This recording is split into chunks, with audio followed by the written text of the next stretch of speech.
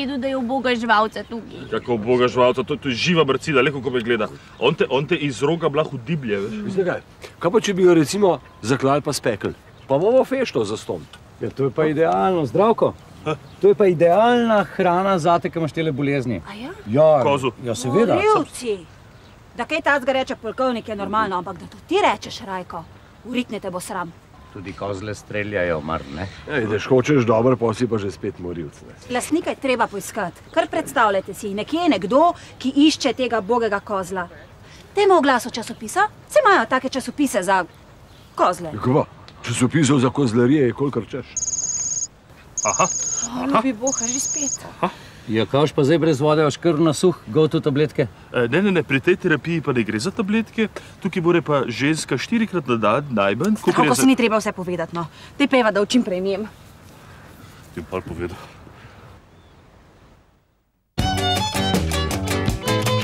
Amke včasih je bila vas, zdaj drugače teče čas, ker kmetje so imeli njive, zdaj bi rasle le koprive. Če se ne bi mi trudili, z nojem zemljo pognojili, smo tiko lopato se borili za solato, kolerabo in čebulo in sploh za vso kulturo, melancane in cvetačo, kumare, fižo, špinačo, grh, krompir in zjelnete glave, pa začimbe in dišave. Če sem Peter Šil korenje, vse kar lepša nam življenje in v nas ponos poti.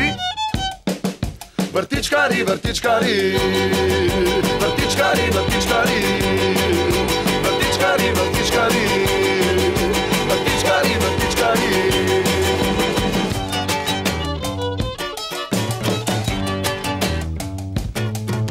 Zunaj vrta brez izjeme pa imamo le probleme. In ko nam je za dosti, pljunemo po komposti Če pa je potrebno tudi vsekamo porodni grudi. In beljezdu, ko se udriha, boljše gre, da se preštiha. Da če drugo nam ne rada, ne uspe vsaj solata Koleraba in čebula in čisto Vsa kultura, melancane in cvetača Kumare, fižo, špinača Grh, krompir in zjelnaste glave Pa začimbe in dišave. Če sem Peter Šil korenje Vse kar lepša nam življenje in v nas ponos budi Въртичкари, въртичкари, въртичкари, въртичкари, въртичкари, въртичкари, въртичкари, въртичкари, въртичкари,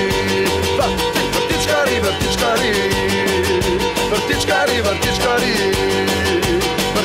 въртичкари, въртичкари, въртичкари, въртичкари, въртичкари, въртичкари, въртичкари.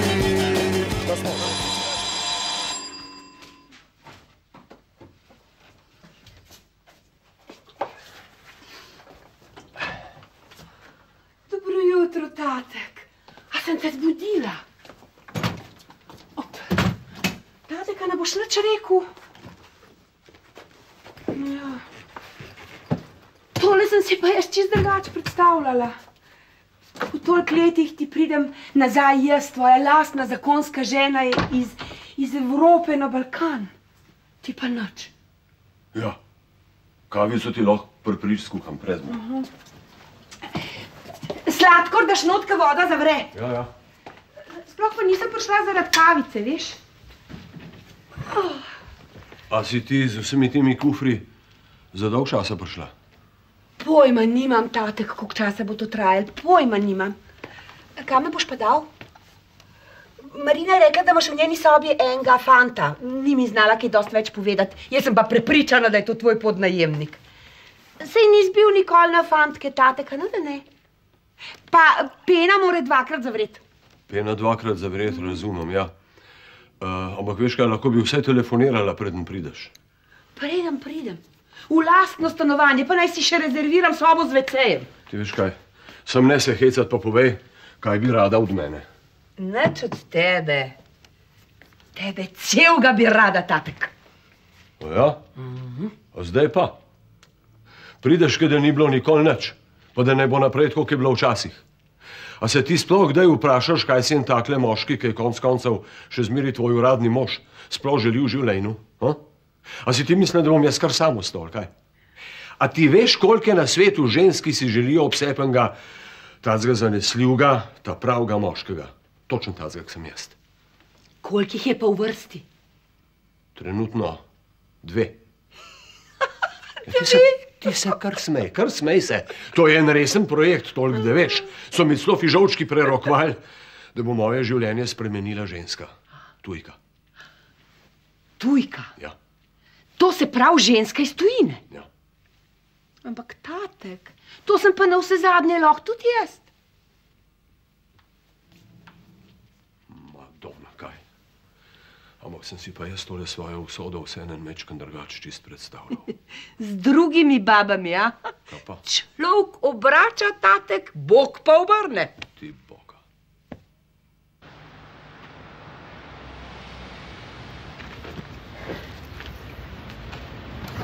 Tako, avto je moj, stanovanje pa tvoje.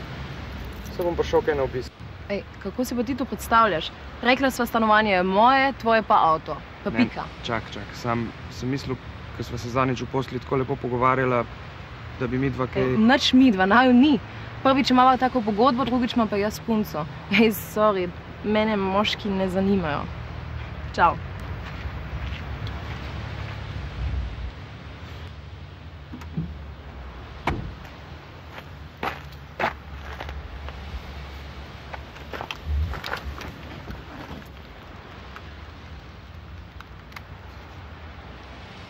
Živijo Marina Mihatle. Z eno normalno žensko sem hotel govoriti in to zdaj pred. Kira blond? Z velikimi? ja, tista. Njej sem dal sam stanovanje v najem, to je bil sam del. Ampak zdaj imam avto tam, kdaj kam pelo, prav? Halo? Ne me basat.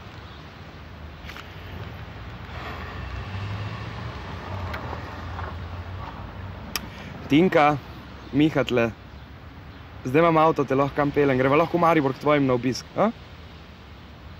Halo? Halo, Tina? Šit.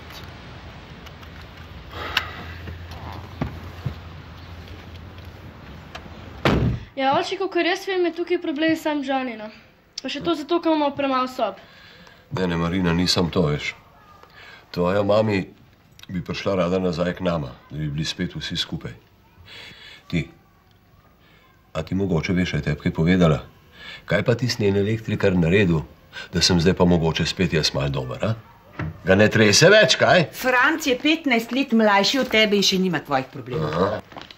Da je prosim, nehaj da se tako kregat, no. Lej, po tolikih letih smo spet skupaj, video pa tako. A ne bi šli raje lepo nekam na eno lepo večerico, a? Je kaj pa? No. Lahko bi šli tako na eno tako skromno večerico, ja? No, evo, super, najprej gremo na večerjo, pa gremo pa še v Nina Nana neki spit. Da ne, bodno pametna. Unina nana, pa ne.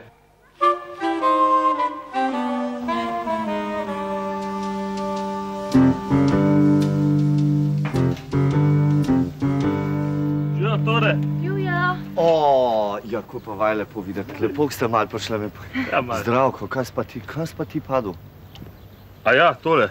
Ne, ne, nisem več padel, liku sem pa sem si ramo spahnil. Veš, ne, nisem mislil, da se lahko pri dikanju tudi rama spahne. O, seveda. Sa se, sicer ne pri majhnih artiklih, ne, kot so robec, uh, bodrc, hlačke, to ne, ne, ampak najhujše so recimo rjuhe, veš, ko imaš veliko površino, ne, pa pa ko moraš potegati, ne, mingrde se spahneš. Še, še čudo pravzaprav, da se to malo ljudi to zgodi, ne.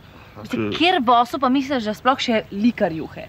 Saj sem mu rekla, primijo pa jo nategne rjuho, ne pa jo pa zlož, pa da izpodi pod kupček, ne pa se bo sama likala, ampak ne, zdravko ne bi bil zdravko, če ne bi likal rjuh. Jaz rad lika, veš, mene me pobirja.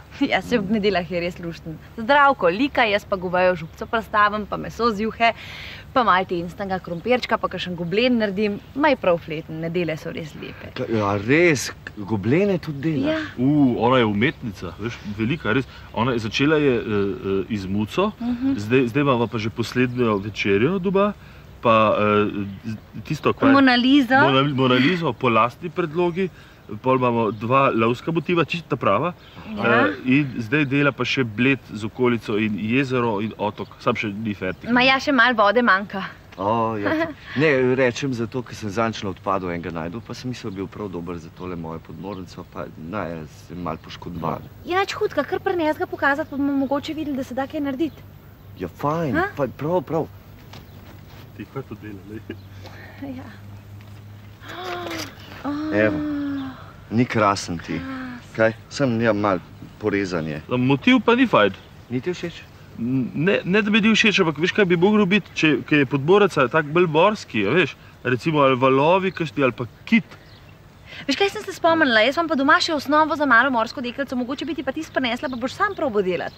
Ja, pa ta motiv bi bil pa prav fajn za podmornico moje. Pa res, to ne, ker smo že pred podbornici, pa to ne. Pa kaj, misliš, da bo tole funkcioniralo? Ha? Mislim, da, mislim, da ne boš potopil enkrat v vodo, ta prvič, pa pa nikoli več. Ne, sem se posvetoval z enim arhitektom. Je rekel, A? no, takole, dvosedežna bo. Zdaj, če hočeš, te pelem kdaj na kakšen izlet. Daj, daj, Ljubljanci. ki mu pa jaz tole roko se rad splazil, da je ga. Daj mirno, preden bo tole narejeno, bo še trajalo, se veš. No, ampak takrat boš ti že zdrav. Ti imaš sicer tole, hvala, lepe misli, ne? Ampak sej, vere, poznaš, jaz nisem nikoli zdrav. Ker ne bo roka, bo pa noga ali pa kakšen drug organ. Mene zberke doleti. No, zdaj pa malo tih bo, če ne te bojo še glasilke bolele. Ti, a veš, da bi že, že nekaj časa nič ne bolijo. Bohe, če jih sploh še imam. In seveda jih imaš, sam nimaš časa govoriti, ker skozi jamraš, ne? A, To pa nisem pomislil. Ja. Veš kaj, Johnny, zaradi mene lahko ti mirno ostaneš, mene ti sploh ne motiš. Se zmeri dobro, če je še kdo zraven, če je kakšna sila, ne. Tatek, če ti ne bi mogel. Kaj pa? Sem pa prav vesel, da tako razmišljate, zato ker ponavadi sem jaz tisti, ki nasrka. Ne? Zato, ker zrevežen tako vsak dela glih, kar hoče, ne da. E, ti, e, ki misliš pa ti spa? V kuki, v spalnici. Pri meni. Ja, kje pa? A imaš ti mogoče kakšen boljši predlog? E, Jaz mislim, da ga ima. Ker mu je ena šlogarca povedala, da bo neko žensko iz tujine spoznal in je že kar nekaj parfumskih korakov naredil v tej smeri. Nehi dreka mešati. Tista iz tujine, to sem jaz. Parfumi so pa zgleda v prazno padli. Ti boš spal v Marinini sobi, mi dva pa v spalnici. Jasno? A, a da ja. Joj, daj hitro se tu zadaj se skri. Tu, tu, tu, tu ja, v kuhno. Ja, pa če... Ja, že grem. Hvala. E, zdravo, Miha. Ja, hodi noter, kaj čakaš?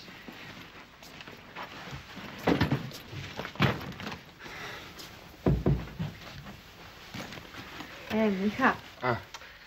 Oprosti, no, ko sem ti s tisto poroko težila. Noč, kul je. Mhm. Vse kul. Samo ene stvari se bo pa vseeno zmenila, prav? Ok, zdaj sem do večera tle in me lahko do večera sprašuješ, kar hočeš. Dobro. Ka, kaj si imel s tisto v postli? Postli? Ja. A ja, v Nina Nana v postli. Ja, to mislim, Kam se ja. češ pa v Nina Nana dati drgam, kot v poslo, no? Vse jo poznaš, to je teki. Ona zdaj živi v mojem stanovanju in to s svojo punco, tako da ni bene nevarnosti. Aha. ja. Kaj pa, kaj pa Marina? Boš rekel, da z njo tu nisi nič imel? Ha? Marina, ko je šla, je šla. No, ne bom rekel, da nisva nič imela, ampak Mhm. je bil bolj to en tako mečkan flirtek. Mhm. Ja. Pa je nisi klical.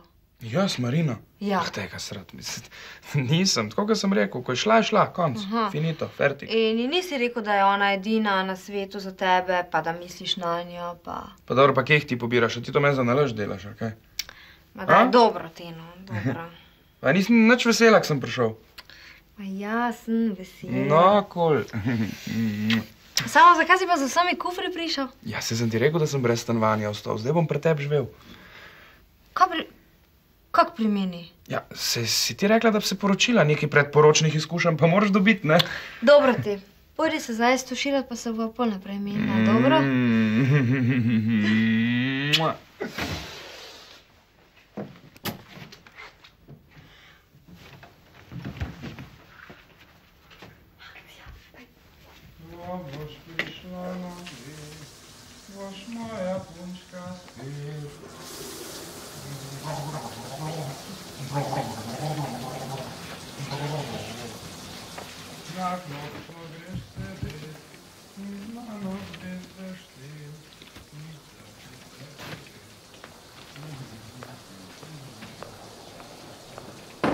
A čist nora!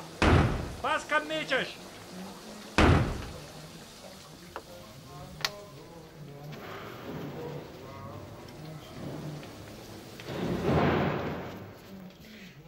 Kaj se že, Miha? Povej mi, kje si, Tinka. Opa.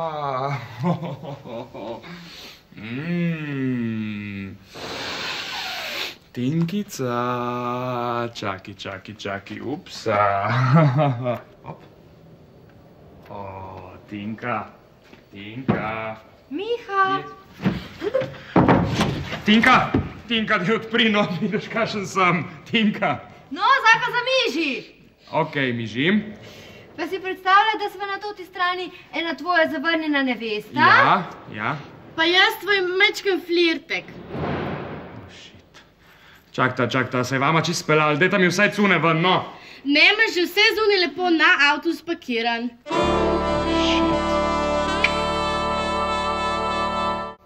No, vi pa lizale. Oh, daj ti. Kaj bo pa zdaj s terapijo, zdravko? Enač trenutno je rama pač bolj akutna, bo terapija morala malo počakati. Oh, poglih sem se navadila na nov Ja, ritem. pa sej bo no kmalu, sam malo počakaj se torej malo za cel, pa bo pa spet vse po starem. Ti veš, kaj sem razmišljal? Če bi si dal te kite v rami malo skrajšati, s tem bi se avtomatično izognil, da bi to moje spahovanje postalo kronično. Ti misliš, da me sploh še kdaj liku? Meni brez likanja živeti ni. Zdravko, a boš en čajček? Ah, kakšen čajček, ga ni čajčka, ki meni tole po cajtu. Kakšno pivo, če imate, sam vi imate toliko mrzuga. Dej, dej grelček, dej. Izvolite. Gospod Zdravko, Ja. pa ste vi bili kaj zavarovani. Za tak primer mislim. Kaj češ biti prlikan zavarovan? Kaj se Imel sem tisti predpis, kako se reče? Predpasnik. Predpasnik. Lih tukaj, da se belo perilo ni umazalo, to je pa tudi vse. Ne, mislim, zavarovanje, zavarovalnica. Za poškodbe pri opravljanju gospodinskih del. Ja, no, to imam pa fino štorijo, poslušajte. Pride res en dan, en tip, pozvoni, odprem, se predstavi za zavarovalniškega agenta, so rekel krasno, če kdo rab zavarovalniškega agenta, sem to jaz. Se je rekel, sedite se, da vam malo razložim, kaj vam jaz vse zajerete, gobe, poškodbe, bolezni, da bo vedel. Ni hudič, ne, ne vem, če sem mu dve, tri ure razlagal. Je že hudič ponoro, vstal, je rekel, da ne se neham zajebavati, take besede je uporabljal, da, da je njegovo delo ravno tako častno, pa tako in da on ni plačan od klepetanja, ampak od zavarovalniških polic. In tako se je moja zavarovalniška odisejada žalostno končala. Slabe tri ure ga Ne, je pa ni bilo, pa ni bilo tri ure. Blazno zoprn tip, jaz ne vem, kako je lahko zavarovalniški agent. Tako da, ne, naš zdravko ni zavarovan, si lahko mislite, glih on. Zakaj vas pa to zanima? Ja, zadnjič sem nekaj tožil zavarovalnico, nekaj so zamočili. Ja. Pa je moj klient dober kasiral. Jaz pa tudi. Jaz pa tudi. A, kdaj pa vi sploh delate? Ste, ste kar naprej v gostilni? A veste, da moja isto reče? Pa je kar naravnost povem, kaj te pa to briga, baba neumna. Kako pa ti govoriš s mojo ženo? A? Tako pr... Au! Imaš srečo, veš, da je tole roko, če ne bi ti tako premazal, da bi š- špegle stene dol prasko. Izvolite, zdravko. O, hvala. Pa tale pa se dobre volje. Ona pa res vse pogleda, probleme. Dober si ga. Ha? Pa kaj bo on nam težil, dej? Wow, kakšna ogromna stvar to ne. O, zdravo, pupa. Mal prim tlele, mal mi pomagaj. bom, bom. Ti, ki boš pa izpit delal za to stvar, glede na to, da nismo neka pomorska vele sila. A, kakšen spit? Je za podmornico. Kakšen spit za podmornico? Ne vidiš, da je brez motorja, se bo na nožni pogon. Ja, se vse. Danes smo imeti izpit za vsako stvar, za kolo, za avto, jadrnico, barko, pa tudi za podmornico. Ja, veš, da nisem pomislil na to.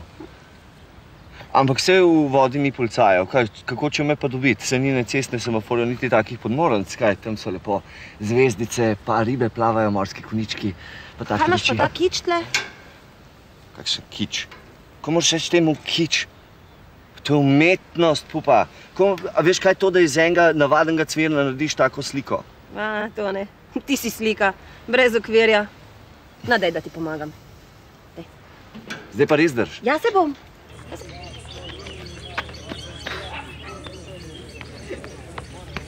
Živa banda. A ve kdo za kakšen stanovanje ali pa sobo? Ja, bod tako kamito. On je v tretjem letniku celo leto spal na zavesah v baletni dvorani. Vse bi jaz tudi, sam ni več zaves. Pa bo. Ej, v naši ulici eno oddaja stanovanje za ston. Res? Ja, sam njenega sina moč inštruirati, matematiko, fiziko pa kemijo. Šit, če bi znal kaj od tega, pol ne bi šel na igralsko. Ja, pa zblefiraj, če si igralec, ne? Kaj? Eno leto ga učiš, pa pa rečeš, da itak nič ne zna, pa naj gre v posebno. Aha, dobro, lahko komu od vas vsaj en teden prespim. Zakaj pa ne greš k Tinki? Zato, ker se mora tam zunaj preoblačiti. kar dejte, kar prvošte si me. Ti stari, kaj si že hotel reči? A ja, ena mala spremembica, kaj se našega filma tiče. Ne mi reči, da niti pika ne bom. Bravo, vidiš, imaš nos, ampak jaz tudi režiser ne bom, če te to kaj potolaži. Mal me pa res. No, veš, ne, resno mislim, no. glavni urednik je ukinul dramo. Ni denarja, ni denarja in ni denarja. Je rekel.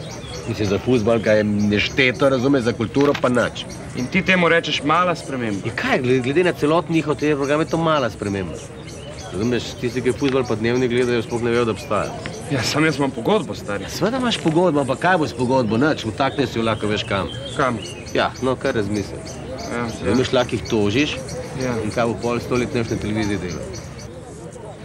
Dobro, gospod režiser, ti zdaj počas greš, ne? Ja, kako že rečeš, fantje in punce? Mejte se. Mejte se. Pa pa moji pofarbani lasje? Kaj s njimi? Kaj? Kaj boš rekel, ne jamra, se ti pašejo, Ja, zgledaš pravka, pašejo. zgledaš pravka in peder, ja, To je pa- majke mi. to je pa zdaj sam majke rekel, mi? Ja, ja. Ja, majke mi. Smešen, res.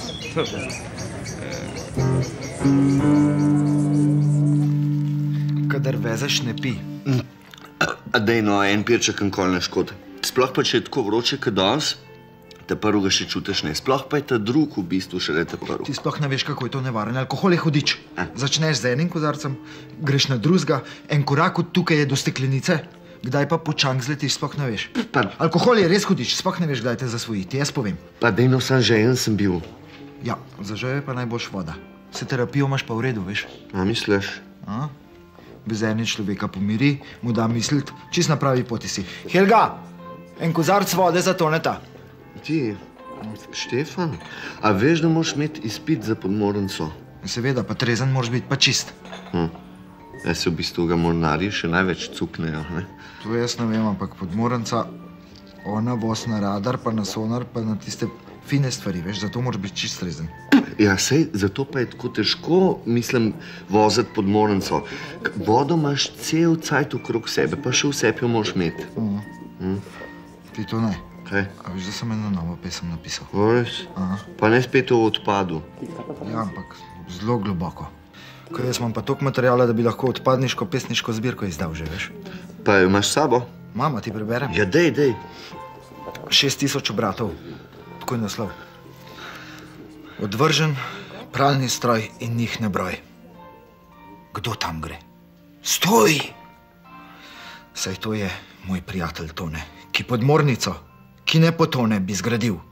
Črpalke, centrifuge, termostate, v pločevino bo zavil in z vodo jih oblil. To omogoča mu odpad. Odpad, ki imam ga rad. Odpad, odpad, on je moj brat. Kakšen poet. Helga, a si videla, ki je v meni napisal pesem? To je ta prav prijatelj. Lej, to je na tvoje zdravje. Ja, vodo pija. Pa to je skrit talent. A veš, koliko tam je tle takih, no. Johnny, recimo, on operne arije. peva. Pa pa moramo narediti, pokaži, kaj znaš na našem odrčku. U, to je pa dobra ideja. Jaz bom pa eno pesem samo Nina Nana napisal. In Joni jo lahko zapoje. Jaz bom pa čaral. A znaš? Ja, ne, si bom še izpomnil. Kje je raj, da mi bo pomagal napisati nalogo o družini? Zakaj pa rabi sarajca? Tudi lahko jaz pomagam. Ti bi napisala, da so družina mi dve. To ni dovolj, rabimo celo družino.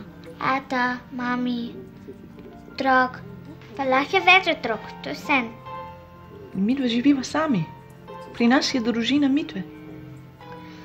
Pa to je preveč komplicirano. Če bi se tu lepo poročila z rajcem, bi bilo vse rešeno. Anteja, Rajc je tvoj prijatelj in to je lepo, ampak to ne pomeni, da je tvoj očka ali moj mož. Jaz imam ga tudi rada, ampak ne pa toliko, da bi se poročila z njim. Osojk, Zato, ker ne. zakaj ne? Anteja, To ti bom povedala, ko boš velika. Dio. Adijo.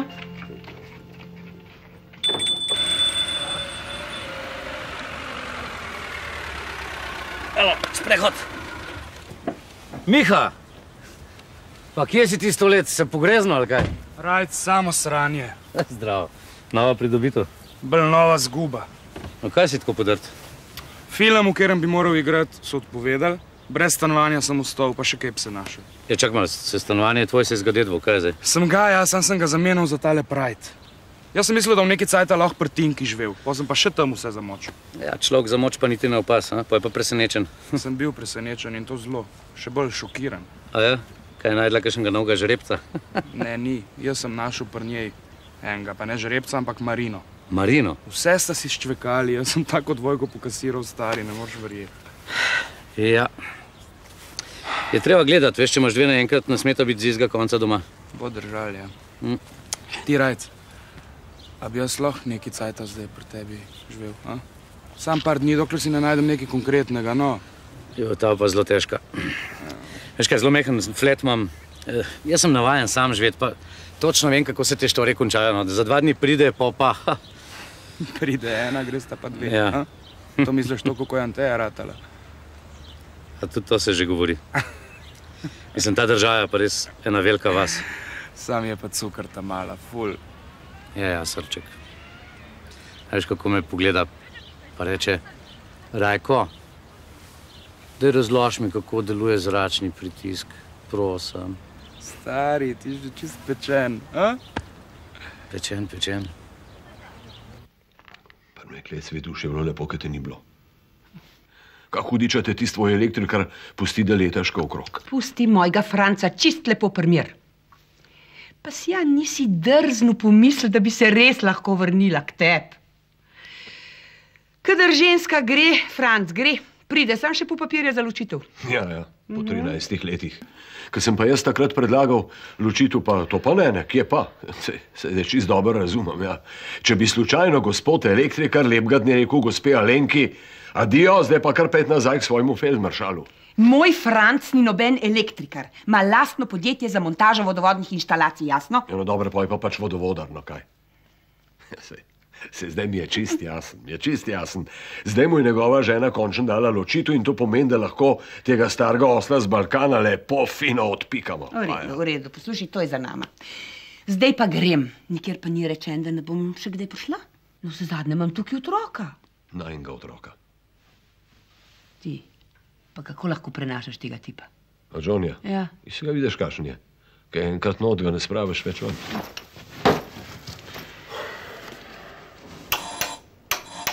Čakaj, grem jaz.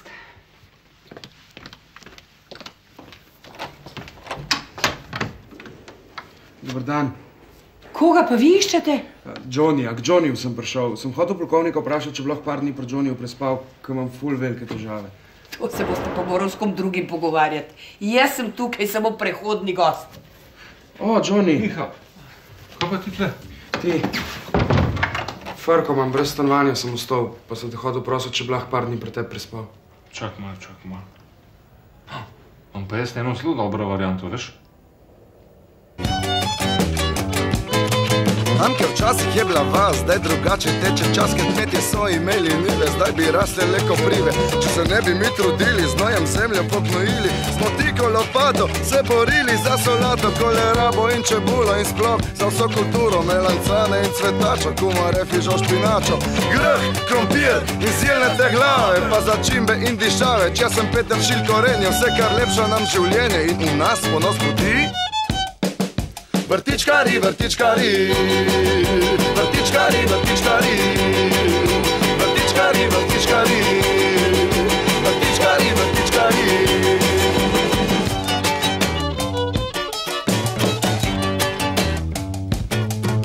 Zunaj vrta brez izjeme pa imamo le probleme. In ko nam je zadosti, pljunemo po komposti. Če pa je potrebno tudi vsekamo porodni grudi. In beljezno, ko se udriha, buše gre, da se preštiha. Da če drugo nam ne rada, ne uspe vsaj solata Koleraba in čebula in čisto Vsa kultura, melancane in cvetača Kuma, repi, žož, špinača Grh, krompir in zilnaste glave Pa začimbe in dišave. Če sem Peter Šil korenje Vse kar lepša nam življenje in v nas ponos budi Vërti çkari, vërti çkari